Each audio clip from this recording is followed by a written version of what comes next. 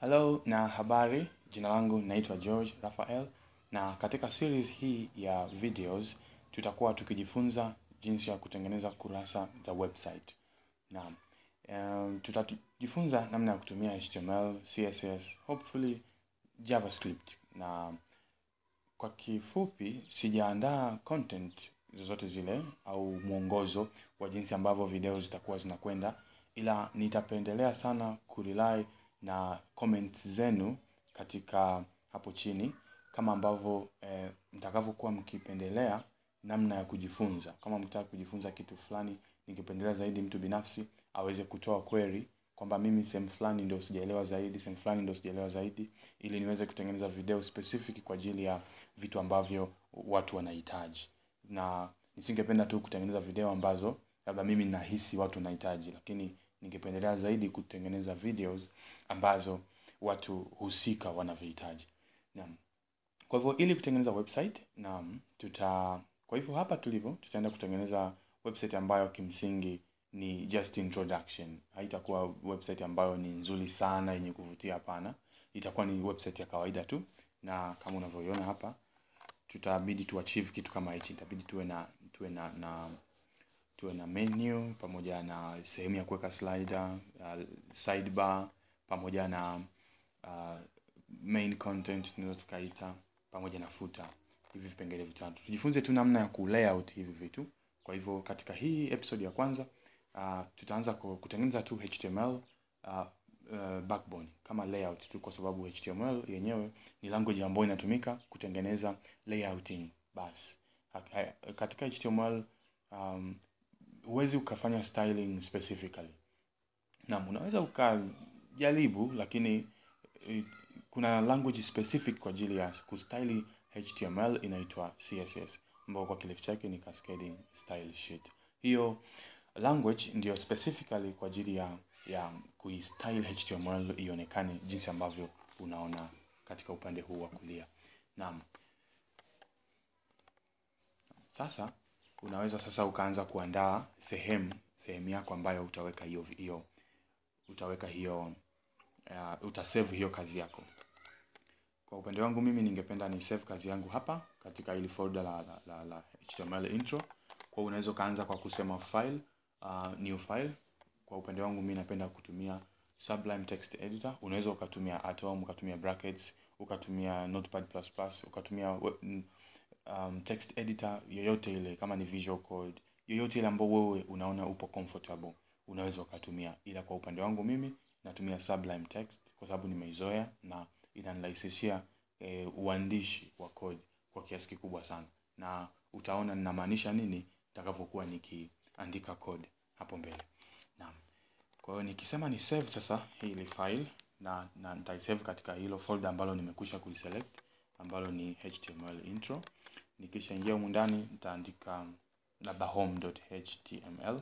Nimeandika extension hii .html kwa sababu hili file ni file ambalo ndani yake kutakaa HTML contents. Na, na sasa ukishamaliza kuliweka sasa inabidi ulifungue.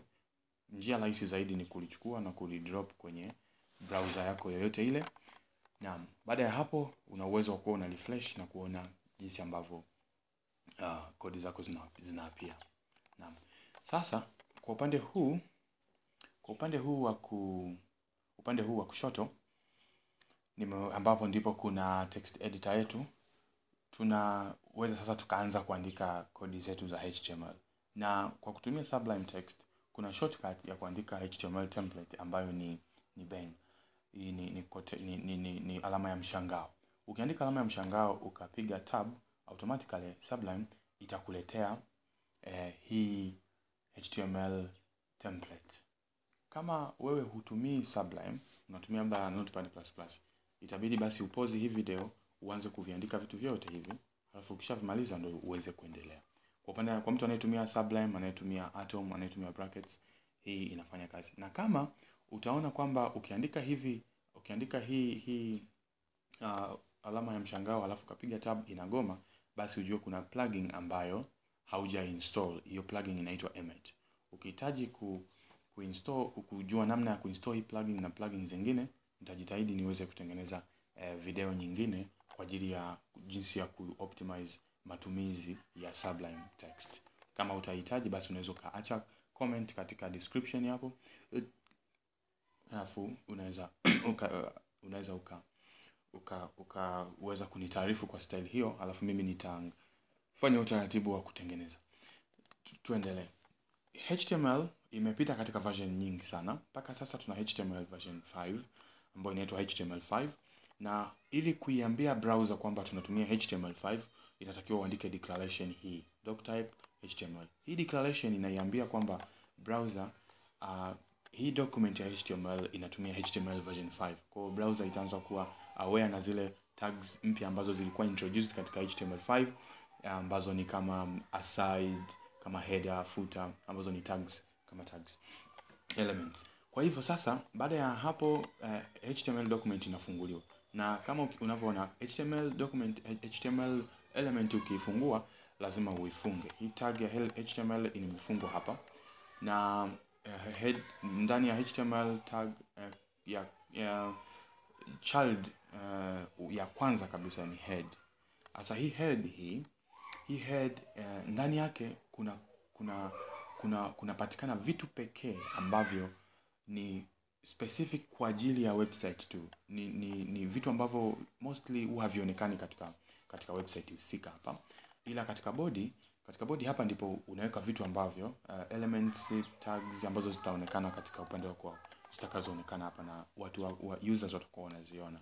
Kwa hivyo uh, kitu cha kujifunza mpaka sasa ni kwamba element unavyoiandika, unavyofungua tag lazima ufunge tag, na kabla uja uja uja, uja kabla hu- huwezi ukaandika tag, labda kwa mfano huwezi ukaandika tag, kwa mfano tag ya division, huwezi ukaandika hii tag ya division alafu labda ukaandika tag labda nyingine tena ya ya d ya division tena, alafu hii tag ya division ukaja eti ukasema uh, labda uifungie uifungie nje hapa.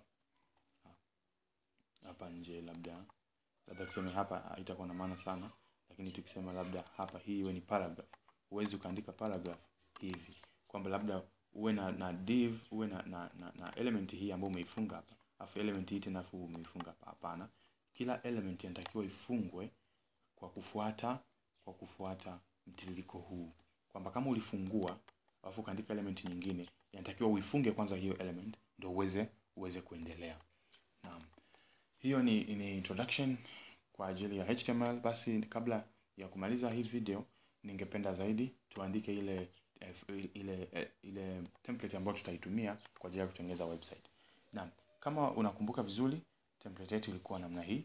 Tulikuwa tuna head e, tuna, tuna, tuna kipengele cha menu, kwa tunaweza tukasema tukaandika class e, ya menu, alafu baada ya class ya menu chini yake tukawa tuna class nyingine ambayo tuite labda ni slider slider.